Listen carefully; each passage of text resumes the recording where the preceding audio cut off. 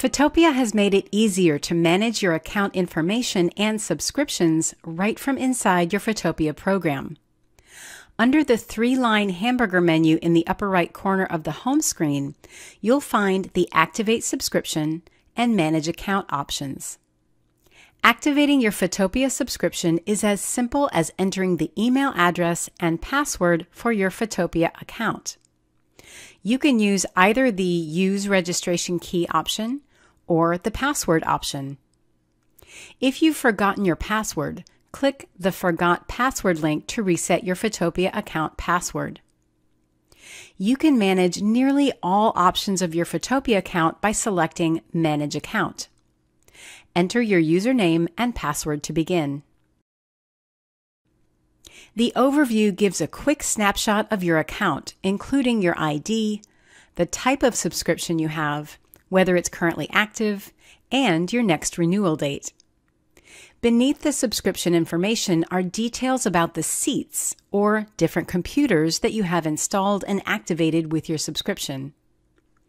Photopia can be installed and activated on up to two computers from either platform. You can nickname seats for easier identification and deactivate individual seats when they're no longer needed. If you need to take a break from your subscription, you can pause it. This will revert the program to trial mode on your computer and you won't be billed for the time your subscription remains paused.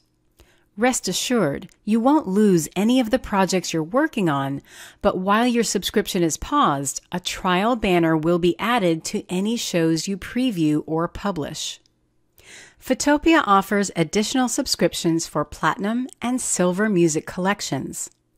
This tab lists information about all your program and music collection subscriptions, including subscriptions that are active, paused, canceled, or pending payment. Select a subscription from the top section of this tab to manage that subscription. You'll see information for the selected subscription and seat and subscription management options below. In the seat section of this window, you can rename or deactivate an active seat. You can also activate, pause, or cancel the subscription using the buttons at the bottom of this tab. The Order button here will bring up the order information window with details about the subscription purchase and any past renewals. The Orders tab details all subscription purchases and renewals in your account. Click the Download Invoice button to download a PDF invoice for the selected order. You can also update the billing address, which applies to the selected order and does not affect the account information. The Account tab lets you change your account name, display name, email address, and account password.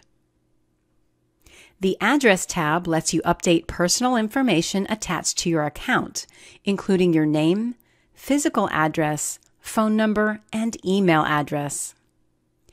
The Users tab is for those who need to manage multiple subscriptions for different users, primarily for business use.